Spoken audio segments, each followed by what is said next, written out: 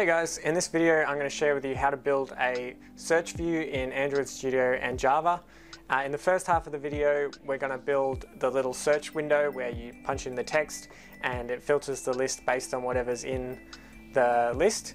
And in the second half of the video we're going to build a few little filter buttons. So if you've got a specific category or something that makes more sense in whatever app you're building, um, you can, rather than the person having to type something in, they can just press the button and it'll filter by those fields. This video assumes that you already have some sort of a list view or a recycler view uh, already created.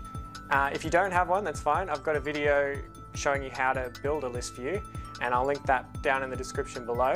If you want to follow along exactly what I've done, um, there's a link in the description to my GitHub and you can download the source code either at the start or at the end of whether or not there's a search view uh, added to the list. Cool, so let's get started. So what I'm going to do first is change the activity containing the list view into a linear layout. The next thing I'm going to do is just create a search view, giving it a width of match parent and height just to wrap the content. Uh, I'm going to give it an ID. I'm going to say icon by default is false and just writing a query hint there. So I'm going to search on shape name. So I'm just giving it shape name. And then last thing, I'm just going to set the orientation to that linear layout to vertical. Cool. So heading back over to the code now, just going to create a new method. Cool. So search view is equal to search view and then find the view by ID. Cool. So now the good bit, um, we're just going to do search view dot set on query text listener, and then I'm just going new search view dot on query text listener and I've just basically you want to get it so that it prompts up there and you can just autocomplete out those override methods. Next we're just going to go into that on query text change method and so basically this gets called every time the user puts in any character into the search view so whether they enter one or backspace one or whatever um, on text change so literally any change that happens in the text. Next we're just going to say array list of type shape I'm going to call this filtered shapes, and that's a new array list of type shape. Next what we want to do is just create a simple for loop to go through all our shapes. Um, if you haven't seen this sort of for loop before, I've put a little annotation up there to say that, well, that's the exact same thing, whether you write it the way that I have there or in the little grey text box. And then we just want to say if the shape has the name and put the name to lowercase, if it contains what we've put in our search text box, we want to add that shape to our new filtered shape list. So shape.getName to lowercase dot contains dot whatever's in the text box to lowercase. And now we've got the list of the shapes that the user is searching for. Uh, we just need to apply that to our list. So what we're going to do is we just say, say shape adapter is equal to new shape adapter, which is exactly what we did before uh, in the previous tutorial. You can see it here. Um, so yeah, I'm just going to say new shape adapter, which I'm going to give it context. I'm going to give it zero, and but instead of giving it a whole list, I'm going to give it our filtered shapes list. And then I'm just going to say set the adapter to our list view. Cool, so we can go ahead and run this now, and we should have a searchable list. So you can see I can search by triangle, it's coming up there, or rectangle, or whatever. Cool, so if you're interested, um, what I'm going to do next is create little filter tabs. So I'm just going to go back into my layout and I'm just going to create a new linear layout underneath my search view. Uh, I'm going to give it a button. Um, so yeah, the orientation of that linear layout is horizontal. And I've set the weight and width. So the weight is 1 and the width is 0 dp. Um, so that'll just make sure that each button is takes up the same amount of width. Uh, match parent on the height, and I'm just going to call that this first one all. And I'm giving it an ID there.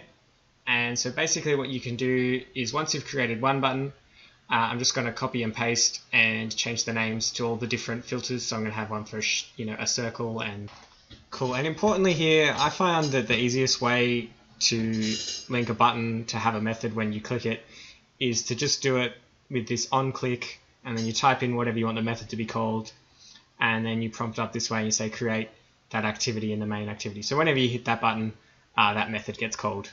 So I'm just going to copy and paste, like I said, down for the rest. And I realized halfway through that I had too many different little filter tabs. So I've actually put it on a second line. So I've just made that linear layout, copy and pasted it down. So I've got two rows of filter tabs. Cool, so that's the UI. Um, now let's make it work. So I'm just going to head back into a main activity and I'm just going to create a method here called filter list and we're going to pass in a string.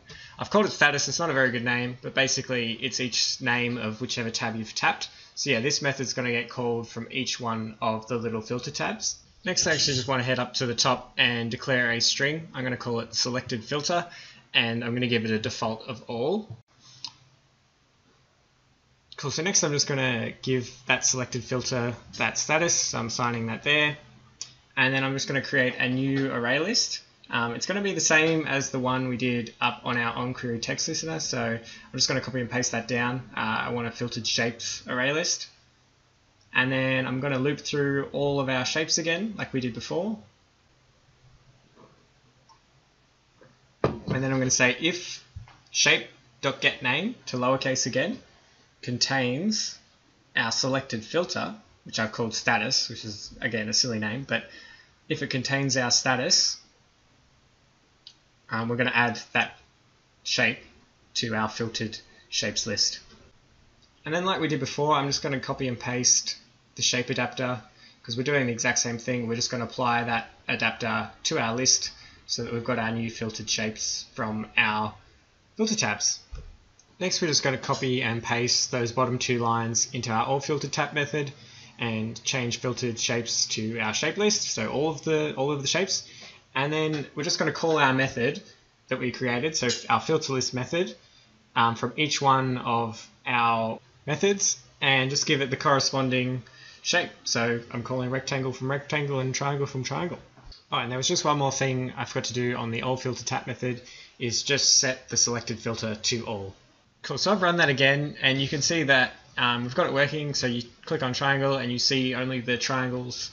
Uh, it isn't perfect. There's still a few things that we need to sort out. So you can see when I put in 2 there, it's reverted back to the whole list. It's not just showing me the triangle 2, which it should because I'm selected on triangle.